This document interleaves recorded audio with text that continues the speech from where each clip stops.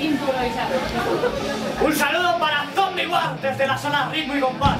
Acabamos de dar el último concierto del primer disco y ahora nos vamos a meter dentro del Popcorn Studio para grabar el segundo. Desde aquí, un fuerte abrazo, Zombie War. Seguidnos.